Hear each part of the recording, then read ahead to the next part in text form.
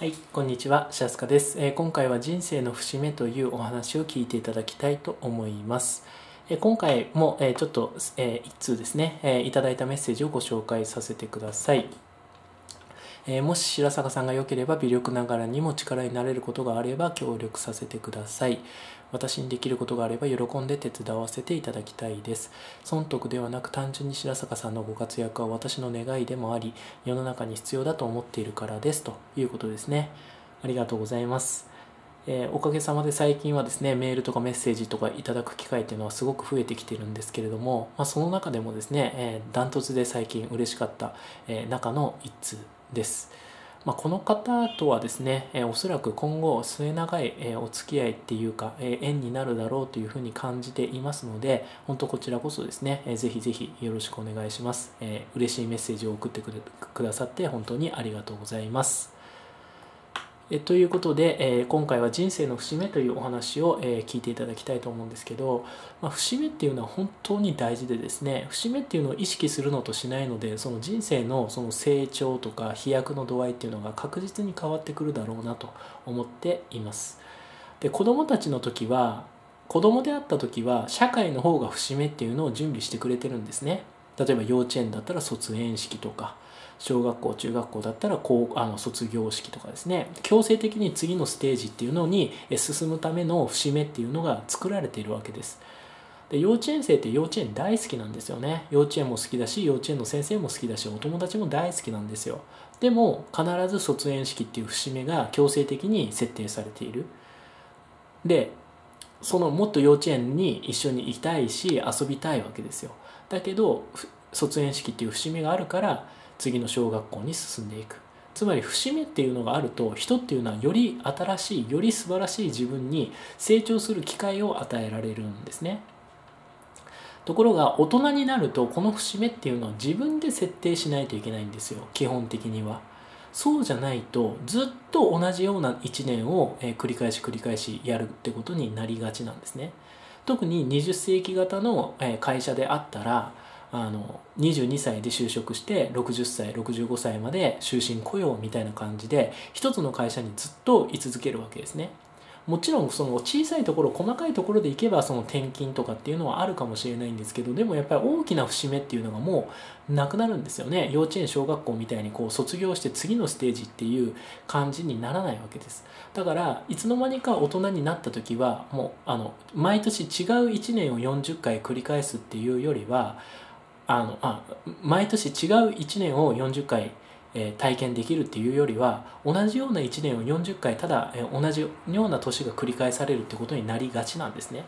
あ、最近はやっぱり終身雇用制度っていうのがかな緩やかに崩壊してきてるので、えー実際節目っていうのを体験する機会っていうのは昔に比べれば増えてると思うんですけどあのそれでもやっぱり自分で節目っていうのを作っていかないともうその人の成長っていうのはそこまでで終わってしまうと。人っていうのはやっぱ基本的に居心地がいい空間っていうのが好きなんですね。だから行動しないで済むなら行動しないんですよ。楽できるなら楽をしたい。だから人っていうのはどんどんどんどん楽な方に楽な方に流れていく。それが本能なんですよね。じゃあその本能に逆らうための一つのチャンスっていうのが実は節目なんです。節目があると人は行動できるし節目を意識することで行動量っていうのを加速したり飛躍させたりすることができるんですね。だから節目があるからこそ人っていうのは成長できる。より新しい自分へと進化していくことができる。っていうことが言えるわけです。で個人的にはですねやっぱり10年単位っていうのはすごく意識していてあの10年前29歳だった時あのあ来年30だなっていうのはすごく意識したんですね。すごく意識しました。でそうした時にじゃあ10年前の29って今何してたかなって思うと、まあ、人生のどん底っていうか絶望してたんですね。おかげさまでその地位はあったんですよ。その教室責任者っていうこう20代にして管理職にしていただいていただけていたので、まあ、地位はあったんですよね。でお金っていう面でも明らかにその同世代の方々よりはあの恵まれたお給料っていうのをもらえてたんです。だから地位とかお金っていう面ではすごく余裕があったんですけれどもその離婚っていうプライベートの方で離婚を経験していたのでその心の方がもうズタズタだったんですよね。だからもう自分の人生は明らかに間違ったと明らかに失敗してしまったということでこの絶望していたりどん底にいたりししました。その時にあ来年いよいよ30かとで30にして自立っていうその孔子の言葉がすごくこうあの脳から離れなくってなんとか自分の人生を変えたいなっていうのをすごく考えてたのがこの29から30になる時だったというふうに思います。で結果的に30にした時にその会社を辞めたんですねで普通の人は辞めた後どうするかって決めて辞めると思うんですよ。例えば転職をするとかあの独立起業するとかもし転職するならどの会社に転職するとかどの業界に転職するとかもしくは独立起業するなら何で独立起業するかとかって決めてや辞めると思うんですけど私の場合は本当に、まあ、ノープランだったんですよね。辞めた後どうするのっていうのが決まってないのにとりあえず辞めちゃったんですよ。で辞めた後1ヶ月ぐらいずっと本を読みながら自分自身と向き合って次の道っていうのをこう見つけていったんですけど、まあ、それぐらいなんとか自分の人生っていうのを変えたかったしなんとかしたかったっていうのだったんですね。でそれもやっぱり30にして自立っていう30歳っていう人生の節目があったから人生が切り替わったんだろうなっていうふうに思っています。であの29から30っていう節目から10年走ってきて今現在39で、え今度40になるまであと3ヶ月ぐらいっていったところで今度は40にして不惑っていうまだ節目っていうのがあるんですね。40にして不惑と。惑わないと。で今39歳であと3ヶ月ぐらいで40になるっていうこの時期にこの40にして不惑っていう言葉をすごく考えた時になんとなくあこういうことかっていうのが分かってきました。っていうのはですねやっぱり自分自身の才能っていうのが分かってきたんですね。才能です。で才能って絶対にですねどんな人にも必ずあるんですよ。絶対あるんです。才能がある人とない人がいるんじゃなくてどんな人にも絶対才能ってあるんですね。あるんですけどでもやっぱりですね少ないんですよ。あの何でもできるわけじゃないんですね。ここが多くの人が誤解してるところだと思うんですけど人の可能性は無限ですと。人の能力は無限ですとかってよく言いますけど私はそれは絶対嘘だと思います。絶対嘘だと思うんですね。才能はあったとしてもやっぱり才能がない分野の方が圧倒的に多いと思うんですね。だから何かができなかったからって言って必ずしも努力とか気合とか根性が足りなかったっていうふうには私は思わないです。例えば個人的な話をすると例えば料理なんか絶対できないですし家事もできないです。例えば勉強って言ったってやっぱり数学とか理科とか英語だったら私よりできる人なんてもう山ほどいるんですよね。もう5万といるわけですよ。だからじゃあ自分より数学ができる人がいて自分は数学はその人に比べてできないからあの人は才能があって自分は努力とか気合とか根性が足りないのかって言ったら絶対そんなことはないと思うんですね。それはもう断言できるんですよ。なぜなら全部自分なりにもうこれ以上できないっていうぐらいやってみたことがあるからです。でもやっぱり勝てないものは勝てないしそれは明らかにあの自分には才能があったとしてもありとあらゆる分野の才能があるわけじゃないんですよね。でそれが分かるのが40なんだというふうに今は思っています。30だと分かんないんですよね。まだ体験が足りないんですよ。だからこれは自分はできるんじゃないかとかこれは才能があるんじゃないかとかえそういったことでいろんなことをこう触ってみる体験してみるんですよねでどうなるかって言ったらほとんどのものは才能がないわけですさっきで言ったら料理とか家事とか育児とか、まあ、数学とか理科とか英語とか、まあ、スポーツとか音楽とかいろんな分野があった中でどんどんどんどん自分の才能がないっていうものにどんどんどんどんぶち当たるわけですね。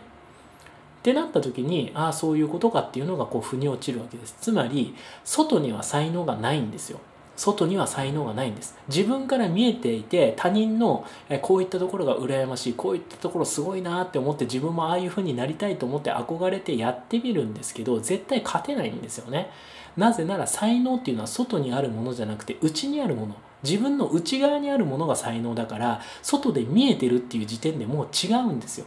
違うんですけど20代30代の時ってそれが分かんないからとりあえずあの人みたいになりたいああいう風になりたいと思って一生懸命やってみるわけですよね。そしたら何が分かるかって言ったらそこは自分の才能がないんだってことに気づけるんです。やっぱり他人が持ってる才能なんですよね。自分が持ってる才能じゃなくて。だから自分が一番になれる分野っていうのは絶対あるんですけどでもほとんどは一番になれないんですよ。だから料理でもあの育児でも家事でもその勉強だったら数学とか理科とか英語でも芸術でもそういったいろんな分野の中で大概のものっていうのは才能がないんですね。やっぱり他の人がやった方が上手なんですよ。ってなった時にこれでもないこれでもないこれでもないっていう才能でないものをたくさん知ったおかげで実はこれなんだっていう確信が持てるようになる。それが才能なんですね。つまり才能っていうのは自分の内側にあるからこそ自分が一番気づきにくいんですよね。外に見えてるものだったら簡単に見つかるんですけど実は自分の内側にあるから分かんないわけですよ。つまり才能っていうのは自分で当たり前にできることなんだけど他人はなぜかできないことなんです。自分としてはすごいことをやってないんですよ。当たり前なんですよできることができることが当たり前なんだけど他人はなぜかそれができないんですね。それが才能なんです。だから才能能に気づくっていうのは大きく分けたら2つしかなくて1つは人から教えてもらう。こういったところを羨ましいって言ってもらう。それが才能なんですね。でもう一つは自分の内側から感じる。確信を持つっていう。この2つだと思うんですけど後者の確信が持てるっていうのは実はその才能じゃないたくさんの体験をやってるからこそ確信が持てるんですね。例えばラーメンが何味が好きって聞かれた時に豚骨っていうふうに即答できる人はなぜ豚骨が大好きだって言えるかっていうと他のものを食べたことがあるからなんですよね。味噌とか醤油とかバターとか塩とか。でいろんなものを食べてみたんだけど結局豚骨が一番美味しかったって思うから豚あの塩でもない醤油でもない豚骨が一番好きだっていうふうに言えるんですよ。で才能もそれと同じようなものでいろんなことを体験してこれでもこれは才能じゃないこれは才能じゃないこれは才能じゃないって気づいた結果結果的に残ったものが実は才能なんですね。なのでそのそれを知ることができるっていうのが実は40ぐらいなんだろうっていうふうに思うんです。それが私にとっては40にして不惑惑わない結局自分の才能はこれかということで確信が持てるっていうのが実は40なんだというふうに感じていますなので20代30代はとにかくですねもうその節操がないとかその世間の目とかを気にしないでとにかく気になることがあるんだったら手当たり次第体験してみるってことをお勧めしますもうやってみるとにかく。でうまくいくかどうか分かんないですけどほとんどの分野っていうのは才能がないんですね。絶対その勝てないわけですよ。やっぱりその見えてる時点であこの人ここすごいなとかここが羨ましいなとかって思ってる時点で実はもうそれは相手の才能であって自分の才能ではないんですけどでもやっぱりやってみないと分かんないんですよね。でやってみて分かんないんですけどやってみると1番になれないわけですよ。そこそこはいけるんですよ。そこそこはいけるんですけどでも1番になれないし1番じゃないと成功できないんですね。今の世の中って。2番とか3番だったらもうダメなんですよ。人っていうのは1番から欲しいんですよね。1番の人から商品サービスを提供してほしいんです。だからもう2番とか3番っていうのは基本的に負けなんです。もうそこそこっていうのをそこそこまでいってもほとんどそれっていうのは使い道にならないんですね。じゃあ絶対でもその人が生きてるってことは今存在してるってことは必ずその人の内側の中には絶対その人にしかできない何かがあって絶対その分野だったら一番になれる。つまりオンワあのワンアンドオンリーの世界っていうのは絶対その人は一つは絶対持ってるんです。それが才能なんですけどその才能これが才能なんだっていうふうに確信を持つためにはそのいろんな体験をしてこれじゃないこれじゃないこれじゃないっていうたくさんの無駄をやってるっていう必要があるんですね。で無駄の数が多ければ多いほどその自分の才能に対しての確信っていうのが強くなるわけです。でそれがたあの20代から30代30代から40代特に30から40の10年間やれるだけのことをやってたくさんの体験無駄をやって失敗をした結果これが才能なんだと。私の才能はこれですと。これで社会に貢献していきますっていうことが見えてくるのが40だと思うんですね。なので40にして不惑40にして不惑という言葉があるんだなというふうに、えー、私は今感じています。なので今この話を聞いてくださってるあなたがいくつなのかわからないんですけどとにかくですね1年1年の節目そして10年単位の節目っていうのを意識して、まあ、例えば今年だったら今2014年の、まあ、12月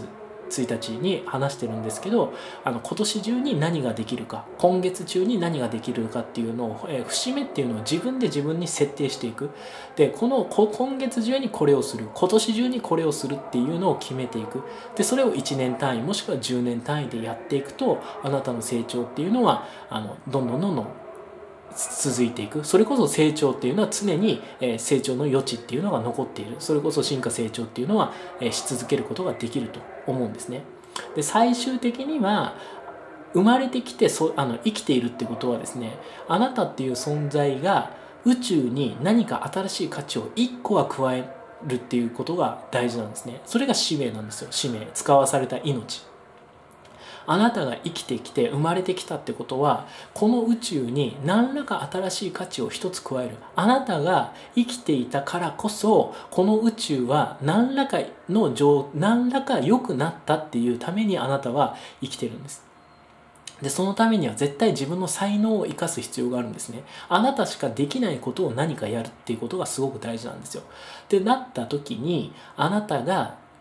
できない。要するに他の人がやった方が上手っていうことをたくさん知ることで体験することで逆にあなたしかできないことっていうその一つのものっていうのが見えてくる。そして確信っていうのが得られるようになるんですね。でそれを、えー、ぜひ節目っていうことで、えー、意識してですねあの今年も終わるとか、えー、いよいよ節目の、ね、年を迎えるとかって言った時に真剣に自分と向き合ってですね、え今までの1年もしくは今までの10年っていうのを振り返ってじゃあ新しい1年もしくは新しい10年っていうのをどんな年にしていきたいのかどんな人生にしていきたいのかえそれを意識するとあなたっていうのはどんどんどんどん成長できるし結果的にあなたが存在していてくれたからこそ宇宙っていうのは何らか良くなった。あなたのおかげで何かの面で良くなったっていうことが出てくるんですね。宇宙に新しい価値を加える。価値を提供する。え人を喜ばせる人を幸せにする、えそのためにはあの人は基本的に行動しないんですけど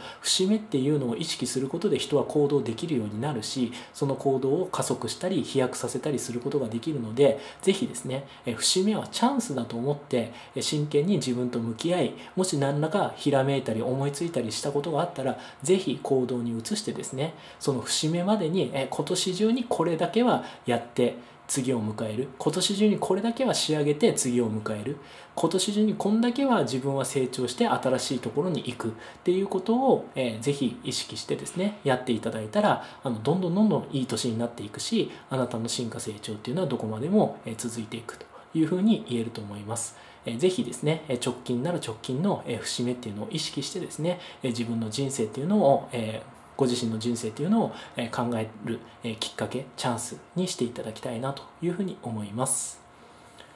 はい、えー、ということで今回は人生の節目というお話を聞いていただきました、ね、今回の動画をご視聴くださり感謝いたします。ありがとうございます。白坂慎太郎でした。それではまた。